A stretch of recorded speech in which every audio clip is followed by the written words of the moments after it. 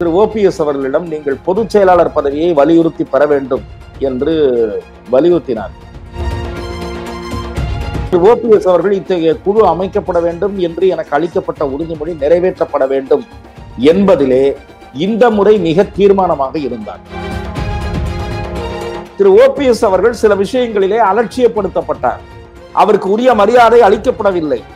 இருந்தாலும் கூட அதையும் பொறுத்து கொண்டு அவர் இந்த கட்சிக்கும் ஆட்சிக்கும் ஒத்துழைப்பை அளித்து வந்திருக்கிறார். ஓபிஎஸ் அவர்களை அலட்சியப்படுத்திவிட்டு எதுவும் செய்ய முடியாது என்பதும் இந்த முடிவின் மூலம் உறுதிப்படுத்தப்பட்டிருக்கிறது. பெரும்பான்மை ஆதரவு இருக்கிறது என்பதற்காக முடிவை எடுக்க முடியவில்லை. அந்த வகையிலே திரு ஓபிஎஸ் அவர்களுக்கும் இது வெற்றி என்பதுதான் என்னுடைய பார்வை. அதாவது எடப்பாடி அவர்களுடைய தரப்புக்கு ஆறு பேர் திரு ஓபிஎஸ் அவர்களுக்கு தரப்புக்கு ஐந்து பேர் என்று பிரித்துக் கொண்டிருக்க கூடாது. இரண்டு பேரும் அமர்ந்து பதினோரு பேரை பொது அடிப்படையில் தேர்ந்தெடுத்திருக்க வேண்டும். துணை முதலமைச்சர் வசம் உள்ள கட்சியினுடைய பொருளாளர் பொறுப்பு இவையெல்லாம் கூட விட்டு தரலாமா என்கிற பரிசீலனைகள் நடந்து கொண்டிருப்பதாக நான் அறிகிறேன். ஆக இப்படிப்பட்ட பொறுப்புகள் மூலம் திருமதி சசிகலா அவர்கள் சிறையில் இருந்து ஆஹ், விரைவிலே விடுதலையாகி வருவார் என்று கூறப்படுகிறது. அப்படி விடுதலையாகி வருகிற சமயத்திலே என்னுடைய பார்வையிலே அவர் உடனடியாக அஇஅதிமுகவில் ஒரு இடத்தை பிடிப்பதற்கான வாய்ப்பு மிக மிக குறைவு. தாங்களே ஒரு அதிகார மையமாக உருவான பிறகு எதற்கு திருமதி சசிகலா அவர்களை அவர்கள் அதிகார மையமாக ஏற்றுக்கொள்ள வேண்டும்?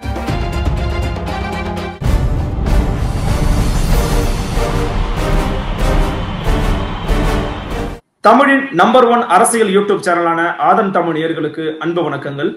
இன்று நம்முடைய ஆதன் தமிழின் கொடி பறக்குது நிகழ்ச்சியில் நடந்திருக்கக்கூடிய சிறப்பு விருந்தினர் மூத்த பத்திரிகையாளர் மரியாதைக்குரிய திரு துக்ளக் ரமேஷ் நடந்திருக்கிறார். வாருங்கள் அவரோட ஒரு சிறப்பு நேர்காணல் சார் வணக்கம் சார். வணக்கம். நலமா இருக்கீங்களா? எப்படி இருக்கீங்க? நல்லா இருக்கேன் பிரதர். மகிழ்ச்சி. தொடர்ந்து அதிமுகவினுடைய அரசியல் நகர்வுகளை கூர்ந்து கவனித்து வரக்கூடிய ஒரு மூத்த ஊடகவியலாளர் அப்படிங்கிற அடிப்படையில உங்ககிட்ட என்னுடைய முதற்கட்ட கேள்வி அப்படிங்கிறது ஓ பன்னீர்செல்வமும் சரி எடப்பாடி பழனிசாமியும் சரி இருவரும் இணைந்து செயல்பட்டால் கட்சி ரொம்ப நாளைக்கு நீடிக்கும் அப்படிங்கிற பேச்சு தான் வந்து பல பேர் சொல்லிக்கிட்டு இருந்தாங்க. இப்ப உண்மையிலேயே இரு இரண்டு பேருமே மனமுத்து இணைந்து முதலமைச்சர் வேட்பாளர் எடப்பாடி பழனிசாமி தான் அப்படின்னு ஓபிஎஸும் அறிவிச்சிட்டாரு. ஆனா ஓபிஎஸ் அவர்கள் எந்த விதமான திட்டமிடலும் இல்லாம எந்த விதமான பேக் பிளானும் இல்லாம இதை அறிவிச்சிட்டாருன்னு எடுத்துக்க முடியுமா? இந்த ஒட்டுமொத்த அறிவிப்பை எப்படி பாக்குறீங்க சார் மரியாதைக்குரிய துணை முதலமைச்சர் அஇஅதிமுகவினுடைய ஒருங்கிணைப்பாளர் திரு ஓ பன்னீர்செல்வம் அவர்கள் தனி அணியாக செயல்பட்ட போது அதாவது திருமதி சசிகலா அவர்களுடைய ஆதிக்கம் அஇஅதிமுக என்கிற கட்சியின் மீதும் அஇஅதிமுக ஆட்சியின் மீதும் இருக்கக்கூடாது. அவருடைய குடும்பத்தினருடைய தலையீடு இருக்கக்கூடாது என்கிற ஒரு கோஷத்தை அவர் முன்வைத்து ஒரு தர்ம யுத்தம் என்று அது அழைக்கப்பட்டது. அந்த சமயத்தில் இன்றைய முதலமைச்சரும் அவரை சார்ந்தவர்களும் திருமதி சசிகலா அவர்களுடைய ஆதரவு நிலையை மேற்கொண்டிருந்ததை நாம் அனைவரும் நன்கு அறிவோம். அதன் பிறகு திருமதி திருமதி சசிகலா அவர்கள் சிறைக்கு சென்ற பிறகு திரு டிடிவி தினகரன் அவர்களுடைய தலையீட்டு காரணமாக அல்லது தலையீடு என்ற குற்றச்சாட்டின் காரணமாக கடும் கருத்து வேறுபாடுகள் எழுந்து அதன் காரணமாக பிறகு அந்த குடும்பத்தினரை ஒதுக்கி வைப்பது என்கிற முடிவை திரு எடப்பாடி பழனிசாமி அவர்களும் அவரை அவரோடு அப்போது இருந்தவர்களும் சேர்ந்து எடுத்து அவர்கள் திரு ஓ பன்னீர்செல்வத்தோடு அவர் அவருடைய தலைமையிலான அணியோடு இணைய வேண்டும் என்கிற முடிவு எடுக்கப்பட்டது. அப்போது திரு ஓபிஎஸ் அவர்கள் மூன்று நிபந்தனைகளை முன்வைத்தார். அதில் குறிப்பிடத்தக்க ஒன்று மறைந்த முதலமைச்சருடைய மரணம் தொடர்பாக ஜெயலலிதா அவர்களுடைய மரணம் தொடர்பாக ஒரு விசாரணை உயர்மட்ட அளவில் ஒரு விசாரணை தேவை என்கிற ஒரு கோரிக்கை வைத்தார். அந்த கோரிக்கை ஏற்றுக்கொள்ளப்படுவதாக அறிவிக்கப்பட்டது. அதே போல கட்சி தொடர்பாகவும் சில பேச்சுவார்த்தைகள் நடைபெற்றன. அதிலே ஒரு முக்கியமான அம்சம்தான் ஒரு உயர்மட்ட குழுவை ஏற்படுத்துவது. அந்த குழு கட்சியினை வழிநடத்துகிற குழுவாக இருக்கும் என்று திரு ஓ பன்னீர்செல்வம் அவர்கள் தெரிவித்தார். அப்போது இணைப்பின் போது இந்த கோரிக்கையை தாங்கள் ஏற்பதாகவும் இதற்கு ஒரு சிறிது கால அவகாசம் அளிக்கும்படியும் திரு எடப்பாடி அவர்களுடைய தரப்பிலே கோரப்பட்டது. அதை திரு பன்னீர்செல்வம் அவர்களும் ஏற்றுக்கொண்டு இணைப்புக்கு வழிகோலினார். அதன் பிறகு அதிமுகவிலே பொதுச் செயலாளர் பதவி என்பது நீக்கப்பட்டு ஒருங்கிணைப்பாளர் இணை ஒருங்கிணைப்பாளர் என்ற இரண்டு பதவிகள் உருவாக்கப்பட்டன. அப்போது திரு ஓபிஎஸ் அவர்களுடைய அணியிலேயே கூட இதை நான் புதிதாக ஒரு தகவலாக உங்களுக்கு சொல்லுகிறேன். அப்போது. திரு ஓபிஎஸ் அவர்களுடைய அணியிலேயே கூட சில முன்னணி தலைவர்கள் திரு ஓபிஎஸ் அவர்களிடம் நீங்கள் பொதுச் செயலாளர் பதவியை வலியுறுத்தி பெற வேண்டும் என்று வலியுறுத்தினார் ஓபிஎஸ் ஆதரவாளர்கள் ஓபிஎஸ் ஆதரவாளர்கள் சில முக்கியஸ்தர்கள். அவரிடம். நீங்கள் இணைப்புக்கு சம்மதிப்பது என்பது சரியான முடிவுதான் ஏனென்றால் அஇஅதிமுக காப்பாற்றப்பட வேண்டும் அப்போது. அதிமுகவிற்கு சின்னம் பறிபோயிருந்த நிலைமை ஏற்பட்டிருந்தது ஆர்கே நகர் இடைத்தேர்தலின் போது. இவர் இரட்டை விளக்கு சின்னத்திலும் அவர்கள் ஒரு சின்னத்திலும் போட்டியிடக்கூடிய நிலைமை இருந்தது. அந்த சமயத்தில் கட்சி காப்பாற்றப்படுவதற்காக இணைப்பை நீங்கள் ஏற்றுக்கொள்ளுங்கள் ஆனால் நீங்கள் பொதுச் செயலாளர் பதவியை பெற வேண்டும் என்று வலியுறுத்தினார்கள். அது அதே போல அதிலே இருந்த ஒன்று ரெண்டு பேர் நீங்கள் அமைச்சரவையில இணைய வேண்டுமா? தேவையில்லை என்று கூட கருதுகிறோம் என்று கூட குறிப்பிட்டார்கள். ஆஹ், அது- அப்படி அவரோடு கருத்துக்களை பகிர்ந்து கொண்ட கட்சிக்கு வெளியே அவர் சிலரோடு ஆலோசனை நடத்தினார். அப்படி கருத்துக்களை பகிர்ந்து கொண்டவர்களில் நானும் ஒருவன் அவரோடு. ஆகவே ஆனால் அவரே பின்னாளில் குறிப்பிட்டதை போல பிரதம அமைச்சர் நீங்கள் எல்லாம் சேர்ந்து இருங்கள் என்று ஒரு அறிவுரை போல கூறினார். ஆகவே அமைச்சரவையில இணைவது என்பது அவர் பிரதமரோடு ஆஹ், நடத்திய ஆலோசனையின் அடிப்படையிலும். அதனது நான் பிரதமருடைய அல்லது பாரதிய ஜனதாவுடைய தலையீடாக நான் இதை பார்க்கவில்லை. ஏனென்றால் அவர்கள் அதிமுக வந்து பலவீனமாகிவிடக் கூடாது. ஏனென்றால் அப்போதுதான் செல்வி ஜெயலலிதா அவர்கள் இறந்து சிறிது காலம் கூட ஆகாத. சிறந்த தருணம். ஆமா ஆமா ஆமா. ஆகவே ஒரு அறிவுரையாக அவர் தெரிவித்ததாகத்தான் நான் அதை பார்க்கிறேன். அந்த அறிவுரையை இவர் ஏற்றுக்கொண்டு அமைச்சரவையிலும் இணைவதற்கு முடிவெடுத்தார். ஆனால் திரு ஓபிஎஸ் அவர்களுக்கு அளிக்கப்பட்ட வாக்குறுதி என்பது நீண்ட காலமாக புறக்கணிக்கப்பட்டு வந்தது. அந்த வழிகாட்டும் குழு அமைக்க வேண்டும் என்பதை பின்னாளில் கண்டுகொள்ளாமல் இருந்தார்கள். அவரும் ஒரு மூன்று மாதத்துக்கு ஒரு முறையோ அல்லது ஆறு மாதத்துக்கு ஒரு முறையோ அதை நினைவுபடுத்தி கொண்டுதான் இருந்தார்.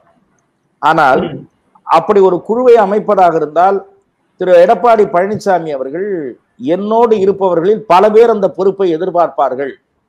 ஒரு ஆறு பேரை தேர்ந்தெடுப்பது என்பது எனக்கு மிகவும் சிரமமான ஒரு வேலையாகிவிடும். கிட்டத்தட்ட பத்து பதினைந்து பேர் அந்த பொறுப்பை எதிர்பார்க்கிறார்கள் என்று அவரோடு பேசியவர்களிடமெல்லாம் தெரிவித்ததாக நான் அறிகிறேன். சொல்லப்போனால் ஒரு பட்டியலையே எடுத்து காட்டுவாராம். இதுல இருப்பவர்களில் நான் யாரை தவிர்ப்பது என்று அவர் கேட்டதாக என்னிடத்திலே ஒரு மூத்த அதிமுக நிர்வாகி தெரிவித்தார். ஆனால் திரு ஓபிஎஸ் அவர்கள் இத்தகைய குழு அமைக்கப்பட வேண்டும் என்று எனக்கு அளிக்கப்பட்ட உறுதிமொழி நிறைவேற்றப்பட வேண்டும் என்பதிலே இந்த முறை மிக தீர்மானமாக இருந்தார். அதாவது அண்மை காலமாக திரு எடப்பாடி அவர்களுடைய ஆதரவாளர்கள் சிலர் அதான் அஇஅதிமுகவில் இருக்கக்கூடிய முக்கியஸ்தர்கள். நாம் தேர்தலுக்கு செல்வதற்கு முன் முதலமைச்சர் வேட்பாளர் யார் என்று அறிவித்துவிட்டு தேர்தலை சந்திக்க வேண்டும். இல்லாவிட்டால் அது சரியாக இருக்காது. இப்போதைய முதலமைச்சரை நீடிக்கட்டும். இப்போதைய பார்ட்டியில் இருக்கக்கூடிய செட்டப் ஆட்சியில் இருக்கக்கூடிய ஏற்பாடு இது அப்படியே தொடரட்டும் என்ற கருத்தை முன்வைத்தார். அதாவது திரு ஓ பன்னீர்செல்வம் அவர்கள் அஇஅதிமுகவினுடைய ஒருங்கிணைப்பாளராகவும் ஆட்சியில துணை முதலமைச்சராகவும் தொடருவது. அதே போல திரு. எடப்பாடி பழனிசாமி அவர்கள் கட்சியில இணை ஒருங்கிணைப்பாளராகவும் முதலமைச்சராகவும் தொடருவது. திரு. எடப்பாடி பழனிசாமி தலைமையில் தேர்தலை சந்திப்பது. இரண்டு பேருடைய கூட்டு தலைமை பின்னாளிலும் தொடர்ந்து நீடிப்பது என்ற கருத்தை சில பேர் முன்வைத்தார்கள். இது வந்து பொதுவெளியிலே ஒன்று இரண்டு அமைச்சர்கள் பேசிய காரணத்தால் இது சர்ச்சையாக உருவெடுத்தது. ஆகஸ்ட் பதினைந்தாம் தேதி இது பற்றி முடிவெடுக்கலாம் என்று சில பேர் நினைத்தார்கள். ஆனால் அது நிறைவேறவில்லை. அதன் பிறகு ஒரு இரண்டு மூன்று வாரங்கள் கழித்து மீண்டும் தலைமை கழகத்திலே கூடி அப்போது முடிவு எட்டப்படவில்லை பிறகு செயற்குழு கூட்டம். அந்த செயற்குழு கூட்டம் தேர்தல் கமிஷனுடைய சம்பிரதாயத்திற்காக கூட்டப்பட்டதாகத்தான் முதலில் எனக்கு தெரிந்து ஏற்பாடு ஆகியிருந்தது. ஆனால் அங்கே இந்த பிரச்சனையை எழுப்புவது என்று திடீரென்று முடிவு செய்ததாக நான் அறிகிறேன். திரு எடப்பாடி பழனிசாமியினுடைய ஆதரவாளர்கள் திடீரென்று அங்கே இந்த பிரச்சனையை எழுப்பினார்கள் என்று நான் கேள்விப்படுகிறேன். அந்த கூட்டத்திலே திரு ஓ பன்னீர்செல்வம் அவர்கள் காயப்படும் வகையில் சில கருத்துக்கள் முன்வைக்கப்பட்டதாக நான் கேள்விப்பட்டேன். ஆகவே அவர் மனம் வேதனை அடைந்தார் அந்த நிகழ்ச்சியில் அவர் இறுதியிலே பேசும்போது முதலமைச்சர் பதவிக்கு நான் ஆசைப்படவில்லை. என்னை அம்மா அவர்கள் மூன்று முறை முதலமைச்சராக்கி இருக்கிறார் நான் இப்போது இந்த தேர்தல் வரை முதலமைச்சர் பதவி என்று அதாவது இடைக்காலமாகத்தான் என்று சொல்லப்பட்டிருந்தாலும் கூட என் நான் இந்த அமைப்பு நீடிப்பதில் நான் எந்த பிரச்சனையும் இல்லாமல் ஒத்துழைப்பு அளித்துக் கொண்டிருந்தேன். ஏதோ நான் முதலமைச்சர் பதவிக்கு ஆசைப்படுவது போல பிரச்சனையை திசை திருப்பாதீர்கள்.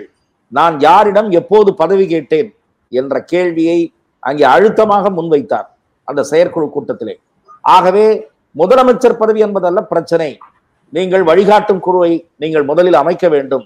ஏற்கனவே அளிக்கப்பட்ட வாக்குறுதியை நிறைவேற்ற வேண்டும் என்று சொன்னதற்கு பிறகு அந்த கூட்டம் எந்த முடிவும் எடுக்கப்பட முடியாமல் பிறகு தனி அறையிலே சிலர் மட்டும் பேசி ஏழாம் தேதி அறிவிப்பை வெளியிடுவது என்று முடிவானது. செயற்குழுவுல அப்பனா நீங்க சொன்னக்கூடிய அந்த வழிகாட்டும் குழுவாக இருக்கட்டும் எடப்பாடி பழனிசாமி அவர்கள்ட்ட எனக்கு வந்து முதலமைச்சர் பதவியே வேணாங்க அப்படின்னு சொன்னதா இருக்கட்டும் இதை எல்லாவற்றையும் ஓபிஎஸ் அவர்கள் சொல்லி இபிஎஸ் ஏற்றுக்கொண்டார் அப்படின்னு எடுத்துக்கிறதா? இல்ல இபிஎஸ் அவர்கள் சொன்ன விஷயத்துக்கு கட்டுப்பட்டு விட்டார் ஓபிஎஸ் அப்படின்னு எடுத்துக்கிறதா? இது யாருக்கு கிடைச்ச வெற்றின்னு நீங்க பாக்குறீங்க? இதாவது திரு இபிஎஸ் அவர்கள் முதலமைச்சராக நீடிக்க வேண்டும் என்று அவரது தரப்பினர் விரும்பினார்கள். அந்த. விரும்பினார்கள் என்று சொன்னால் முதலமைச்சருக்கே அந்த விருப்பம் இருந்தது. தான் தொடர வேண்டும் என்பதிலே முதலமைச்சர் தீர்மானமாக இருந்தார். ஏனென்று சொன்னால் மூன்றாண்டு காலம் நான் சரியாகத்தான் செயல்பட்டிருக்கிறேன் என்பது அவருடைய வாதம்.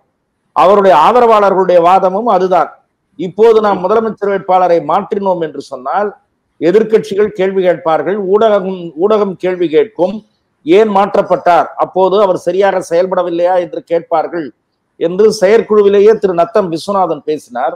ஆகவே திரு எடப்பாடி பழனிசாமி அவர்கள் தொடர விரும்பினார். அவருக்கு பெருத்த ஆதரவு இருந்தது என்பதற்கு என்ன காரணம் என்று சொன்னால் இப்போது அவர் கடந்த மூன்று ஆண்டுகளுக்கு மேலாக முதலமைச்சராக நீடித்துக் கொண்டிருக்கிறார்.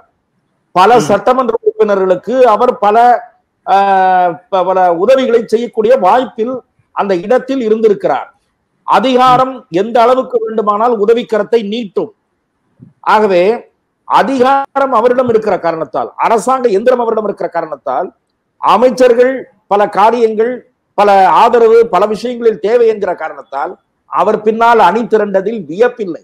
இரண்டாவது திரு ஓபிஎஸ் அவர்கள் இணைந்தாரே தவிர கட்சிக்குள் கோஷ்டி அரசியலை அவர் மேற்கொள்ளவில்லை. அவர் தனக்கு இடப்படுகிற பணி இதை நிறைவேற்றியே பழக்கப்பட்டு வந்திருக்கிறார்.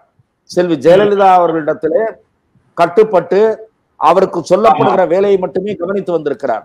ஆனால் இப்போது இரட்டை தலைமை என்று வந்த பிறகும் கூட திரு ஓபிஎஸ் அவர்கள் சில விஷயங்களிலே அலட்சியப்படுத்தப்பட்டார்.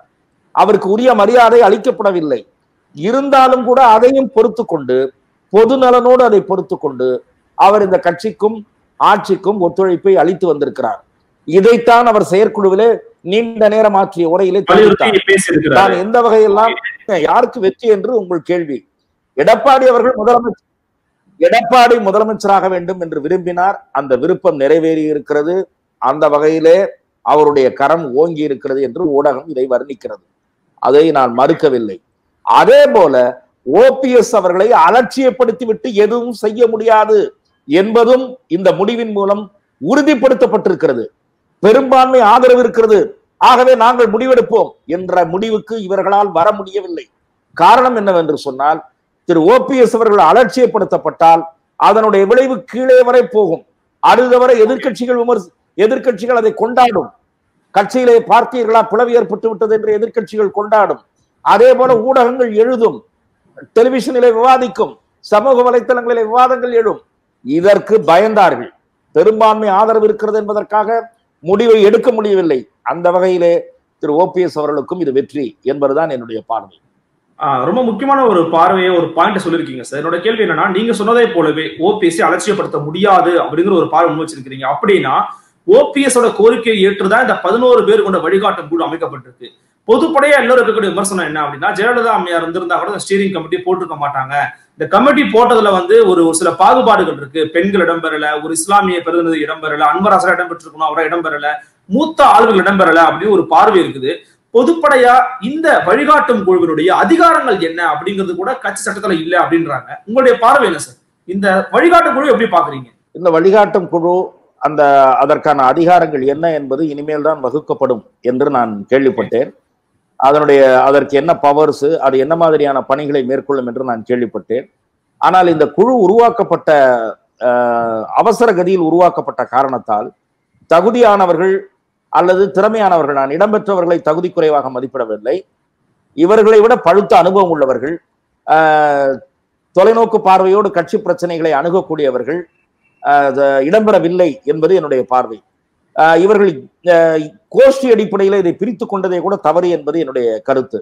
அதாவது எடப்பாடி அவர்களுடைய தரப்புக்கு ஆறு பேர் திரு ஓபிஎஸ் அவர்களுக்கு தரப்புக்கு ஐந்து பேர் என்று பிரித்து கொண்டிருக்க கூடாது. இரண்டு பேரும் அமர்ந்து பதினோரு பேரை பொது அடிப்படையில் தேர்ந்தெடுத்திருக்க வேண்டும். அப்படி தேர்ந்தெடுக்கும் போது அவர்களுடைய அரசியல் அனுபவம் கணக்கில் எடுத்துக் கொள்ளப்பட்டிருக்க வேண்டும். சமுதாய ஆங்கிளுக்கு முக்கியத்துவம் தந்திருக்க கூடாது. ஜாதி ஆங்கிளுக்கு முக்கியத்துவம் தந்திருக்க கூடாது. ஜாதி ஆங்கிலும் அதுல இடம்பெறுமானால் தகுதியும் ஜாதியும் சேர்ந்து வருமானால் அதற்கு ப்ரையாரிட்டி கொடுத்திருக்கலாம். உதாரணமாக சொல்லுவ சொல்லுவதானால் ஆஹ், திரு நத்தம் வசுநாதன் விடுபட்டிருக்கிறார். அவர் ஒரு அனுபவஸ்தர். ஆஹ், மறைந்த முதலமைச்சர் அவர்கள் நாலு பேரை அழைத்து ஆலோசனை கேட்கும் போது அந்த நாலு பேரில் ஒருவராக இருந்தவர். அதே போல நீங்கள் குறிப்பிட்டது போல அன்வர் ராஜா. அவர் நான் இஸ்லாமியராக மட்டும் பார்க்கவில்லை. நாடாளுமன்றத்திலே சிறப்பாக செயல்பட்டவர். மறைந்த முதலமைச்சர் புரட்சி தலைவர் எம்ஜிஆர் காலத்திலேயே அதிமுகவிலே பொறுப்பிலே இருந்தவர்.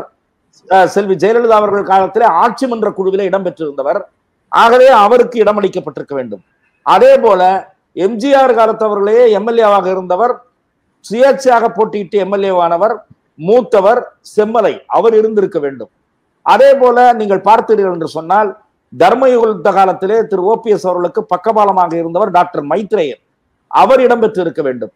திரு. பொன்னையன் அவர்களுடைய அனுபவத்தை திரு பொன்னையன் திரு பன்ருட்டி ராமச்சந்திரன் இரண்டு பேரில் திரு பன்ருட்டி ராமச்சந்திரன் அவர்களுக்கு உடல்நிலை எந்த அளவு ஒத்துழைக்கும் என்று எனக்கு தெரியவில்லை. இவர்கள் இருவரில் ஒருவரை பயன்படுத்தி கொண்டிருக்குமா? பயன்படுத்தி கொண்டிருக்க வாய்ப்பு உண்டா? என்று பரிசீலித்திருக்க வேண்டும். ஆக இப்படிப்பட்ட மூத்தவர்களை அதே போல திரு செங்கோட்டையன் மூத்த அமைச்சர் செல்வி ஜெயலலிதா அவர்களுடைய காலத்திலே மிக முக்கிய பங்கு வகித்தவர். ஆகவே திரு செங்கோட்டையன் அவர்கள் அதில் இடம்பெற்றிருக்க வேண்டும். நீண்ட காலம் சட்டமன்ற உறுப்பினர் அவர். திராவிட முன்னேற்ற கழகத்திலே திரு துரைமுருகன் எப்படி சீனியரோ இன்றைக்கு அஇஅதிமுகவிலே திரு செங்கோட்டையன் ஒரு சீனியர். அவரை இந்த குழுவில் இடம்பெறாமல் செய்து விட்டார்கள். இப்போது இவர்களுக்கெல்லாம் மனக்குறை ஏற்பட்டிருக்கிறது அதிருப்தி ஏற்பட்டிருக்கிறது என்கிற தகவல் அவர்களுக்கும் புரிகிறது. இதுல பிரச்சனை ஏற்பட்டிருப்பது அவர்களுக்கும் தெரிகிறது. ஆகவே இப்போது அடுத்து தேர்தல் பணிக்குழு அமைக்கப்படும். தேர்தல் கூட்டணி பேச்சுவார்த்தை நடத்துகிற குழு தேர்தல் அறிக்கை தயாரிப்பு குழு இவையெல்லாம் அமைக்கப்படும் என்று சொல்லுகிறார்கள். இது தவிர முதலமைச்சர் வசம் உள்ள தலைமை நிலையில செயலாளர் பதவி துணை முதலமைச்சர் வசம் உள்ள கட்சியினுடைய பொருளாளர் பொறுப்பு இவையெல்லாம் கூட விட்டு தரலாமா என்கிற பரிசீலனைகள் நடந்து கொண்டிருப்பதாக நான் அறிகிறேன். ஆக இப்படிப்பட்ட பொறுப்புகள் மூலம் இருப்பவர்களுடைய அதிருப்தியில் இருப்பவர்களுடைய அதிருப்தி சரி செய்யப்பட வாய்ப்பு இருப்பதாக நான் கருதுகிறேன். இப்போ நீங்களே கூட உங்களுடைய வாதத்தில் முன் வச்சிருந்தீங்க ஓபிஎஸ்ஐ ஒதுக்கிவிட முடியாதுன்னு. ஆனா இந்த தேர்தல் வழிகாட்டு இந்த வழிகாட்டு குழு விஷயத்துல வந்து பாத்தீங்கன்னா ரமேஷ் சார் என்ன சொல்லியிருந்தாரு அப்படின்னா எடப்பாடிக்கு சார்பாக கொஞ்சம் ஆறு பேரும் ஓபிஎஸ் சார்பாக ஐந்து பேரும் தான் இருக்காங்க அப்படின்னா இதுல கூட கொஞ்சம் சறுக்கிட்டாரா ஓபிஎஸ் இதுல ஏன் சமப்படுத்த முடியல ஓபிஎஸ் இல்ல விரிவு விரிவுபடுத்த வழிகாட்டு இல்ல இல்ல இந்த வழிகாட்டு குழு விரிவுபடுத்தப்பட்டால் அதுவும் அமைப்பு செயலாளர் மாதிரி ஆகிவிடும். அதிமுகவிலே கிட்டத்தட்ட ஐம்பது அமைப்பு செயலாளர்கள் இருக்கிறார்கள். அப்படியெல்லாம் இருக்கவே கூடாது. அமைப்பு செயலாளர்கள் என்றால் அமைப்பை வலுப்படுத்த பணிகளை ஏ- மேற்கொள்ள வேண்டியவர்கள். மண்டல வாரியாக பிரித்தால் கூட ஒரு நாலஞ்சு அமைப்பு செயலாளர்கள் போரும். தெற்கு மண்டலம் மேற்கு மண்டல மாவட்டங்களை இவர்கள் கவனிப்பார்கள். தெற்கு மாவட்ட மாவட்டங்களை இவர்கள் கவனிப்பார்கள். என்று பிரித்தாலே கூட அவ்வளவு பேர் போதும். இப்படி இவ்வளவு நீளமான பட்டியல் எந்த காலத்திலும் இருந்ததில்லை. சொல்லப்போனால் இந்த கட்சி துவங்கப்பட்ட போது ஆயிரத்தி தொள்ளாயிரத்தி எழுபத்தி ரெண்டில் துவங்கப்பட்ட போது அமைப்பு செயலாளர்கள் மூன்று நான்கு பேர் தான் இரண்டு மூன்று பேர் தான். முதல் கட்சியினுடைய முதல் அமைப்பு செயலாளர் மறைந்த அமைச்சர் கே. ஏ. கே. அவர்கள். கே. ஏ. கே. தான் இந்த கட்சியினுடைய முதல் அமைப்பு செயலாளர். அதே போல. எம்ஜிஆர் அவர்களோடு கட்சியை விட்டு நீக்கப்பட்ட போது அவருக்கு ஆதரவு தெரிவித்த அன்றைய சட்டமன்ற உறுப்பினரான எஸ். எம். துரைராஜ் அவர்கள் பின்னாளில் ஒரு அமைப்பு செயலாளர் ஆனார் ஆனால் பிறகு பிற்காலத்திலே ஒன்று ரெண்டு பேருக்கு வேறு பொறுப்புகளை எம்ஜிஆர் அளித்தார். ஆலந்தூர் மோகனரத்துக்கு ஒரு பொறுப்பளித்தார். அரகாபுத்தூர் ராமலிங்கத்திற்கு ஒரு பொறுப்பளித்தார். முசிறிப்புத்தனுக்கு ஒரு பொறுப்பளித்தார். அப்படியெல்லாம் அளித்தாரே தவிர அமைப்பு செயலாளர் பட்டியலை மிகப்பெரிய பட்டியலாக அறிவித்திருப்பது இப்போதுதான். அப்படி இருக்கக்கூடாது.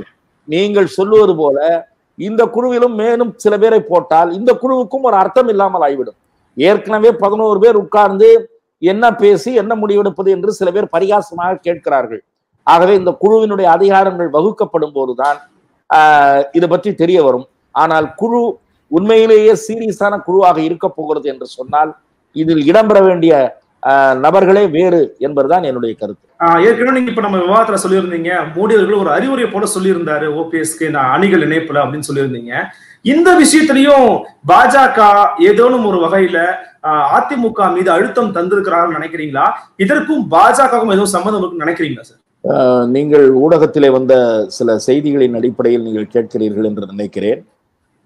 ஏனென்றால் சில பத்திரிகைகளிலும் அதே போல சமூக வலைத்தளங்களில் சில செய்திகள் பரவியிருந்தன. இரண்டு அமைச்சர்கள் டெல்லி சென்று சில முயற்சிகளை மேற்கொண்டார்கள் என்று சில செய்திகள் வெளிவந்திருந்தன. நான் கேள்விப்பட்டது பாரதிய ஜனதா கட்சியினுடைய மேலிடம். இந்த விவகாரத்தில் தாங்கள் தலையிட விரும்பவில்லை என்று தெரிவித்து விட்டதாக நான் அறிகிறேன். ஆகவே இப்போதைய பிரச்சனையில் பாஜக எந்த வகையிலும் தலையிட்டதாக சோ பாஜகவிற்கும் இப்போது ஏற்பட்டிருக்கக்கூடிய இந்த விஷயத்துக்கும் சம்பந்தமே இல்லை அப்படின்னு ரமேஷ் சசோதா எடுத்துக்கலாம். அதோட மிக முக்கியமா இன்னொரு கேள்வி கூடுதலா துணை கேள்வி இருந்துச்சு அதையும் நான் கேட்டுடுறேன். சசிகலா அம்மையாருடைய சொத்துக்கள் முடக்கப்பட்டிருக்கிற செய்தியும் நேற்று நமக்கு வெளியே வந்துச்சு வருமான வரித்துறையின் மூலமாக. இந்த நிகழ்வுக்கும் இந்த நிகழ்விற்கும் ஏதேனும் ஒப்புமை இருக்கிறதா? அல்லது அது ஒரு சாதாரண நடைமுறை தானா நீங்க எப்படி சார் பாக்குறீங்க? திருமதி சசிகலா அவர்களுக்கு எதிரான பொருளாதார குற்றங்களுக்கான நடவடிக்கை என்பது தொடர்ச்சியாக நடைபெற்றுக் கொண்டிருக்கிறது. ஒவ்வொரு விஷயமாக பல ஆவணங்களின் அடிப்படையில் ஒவ்வொரு விஷயமாக ஆராய்ந்து ஆராய்ந்து கவனமாகத்தான் எந்த நடவடிக்கையும் எடுத்துவிட முடியும். எடுத்தோம் கவிழ்த்தோம் என்கிற வகையிலே எந்த துறையானாலும் செயல்பட முடியாது. அதுவும் சில வகையான வழக்குகள் எல்லாம் ஹை ப்ரொஃபைல் கேசஸ் என்று குறிப்பிடுவார்கள். ஆகவே அரசியல் சாயம் பூசப்பட்டு விடும் என்பதற்காக அரசு துறைகள் கவனமாகத்தான் செயல்படும். அந்த வகையிலே தான் திருமதி சசிகலா அவர்களுடைய அவர்களுடைய உறவினர்கள் அல்லது அவர் தொடங்கியதாக கூறப்படும் நிறுவனங்கள் ஆகியவற்றுடைய நடைபெற்ற சோதனைகளின் அடிப்படையில் பல நூற்றுக்கணக்கான ஆவணங்கள் அது வருமான வரித்துறையாகட்டும் அமலாக்கத்துறையாகட்டும் ஆராய்ந்து கொண்டிருப்பதாக ஏராளமான ஆவணங்கள் எடுத்து ஆராய்ந்து கொண்டிருப்பதாக நாம் பத்திரிகைகளிலே படித்தோம். இது ஆங்கில தினசரிகளிலே வந்திருக்கிறது ஓரிரு வார பத்திரிகைகளிலே வெளிவந்திருக்கிறது. சொல்லப்போனால் அந்த ஏஜென்சிகளே இந்த தகவல்களை பிரஸ் நோட்டாக கொடுத்திருக்கிறார்கள். ஆகவே ஒவ்வொரு சொத்து பற்றியும் பல கேள்விகள் விசாரணைகள் நடைபெற்று வரும். அது தொடர் நடவடிக்கை. அப்படி நடைபெறுகிற விசாரணைகளுடைய தொடர்ச்சியாகத்தான் சில நடவடிக்கைகளை அந்த இலாக்கா எடுத்துக்கொள்ளும். ஆகவே திருமதி சசிகலா அவர்களை பொறுத்தவரை அஇஅதிமுகவுடைய இப்போது ஏற்பட்டிருக்கிற பிரச்சனை அதை அவர்கள் சரி செய்து கொண்ட விதம் அதற்கும் திரு சசி திருமதி சசிகலா அவர்களுக்கு எதிராக எடுக்கப்படுகிற நடவடிக்கைகளுக்கும் முடிச்சு போடுவது என்பது சரியாக இருக்காது. ஏனென்று சொன்னால் திருமதி சசிகலா அவர்கள் சிறையில் இருந்து ஆஹ், விரைவிலே விடுதலையாகி வ- வருவார் என்று கூறப்படுகிறது. அப்படி விடுதலையாகி வருகிற சமயத்திலே என்னுடைய பார்வையிலே அவர் உடனடியாக அஇஅதிமுகவில் ஒரு இடத்தை பிடிப்பதற்கான வாய்ப்பு மிக மிக குறைவு. திரு ஓ பன்னீர்செல்வமாகட்டும் திரு எடப்பாடி பழனிசாமி அவர்களாகட்டும் இரண்டு பேரும் இரண்டு பவர் சென்டர்களாக இந்த கட்சியிலே உருவாகி இருக்கிறார்கள். இரண்டு பேரும் இணைந்து செயல்படுகிற முடிவை எடுத்து இப்போது இந்த தேர்தலை சந்திக்க இருக்கிறார் திரு எடப்பாடி. பழனிசாமி அவர்களை முன்னிறுத்தி கட்சியை இவர் வழி நடத்தி இந்த தேர்தலை எதிர்கொள்வது என்று முடிவெடுத்திருக்கிறார் இந்த சமயத்திலே மீண்டும் திருமதி சசிகலா அவர்களுடைய உத்தரவை பெறுகிற நிலைக்கு தங்களை இவர்கள் உட்படுத்திக் கொள்ள தயாராக இருக்க மாட்டார்கள். தாங்களே ஒரு அதிகார மையமாக உருவான பிறகு எதற்கு திருமதி சசிகலா அவர்களை அவர்கள் அதிகார மையமாக ஏற்றுக்கொள்ள வேண்டும்? ஆகவே திருமதி சசிகலா அவர்கள் திரு தினகரன் அவர்களுக்கு அணிக்கு தலைமை தாங்குவாரா? அல்லது அரசியலில் இருந்து ஒதுங்கி இருப்பாரா? அல்லது திரு தினகரன் தலைமையிலான அணியை அஇஅதிமுகவோடு இணைத்து விடுவதுதான் சரியாக இருக்கும் என்ற அறிவுரை கூறுவாரா? என்பதையெல்லாம் அவர் வெளியே வந்த பிறகுதான் பொறுத்திருந்து பார்க்க வேண்டும். பார்க்க முடியும்.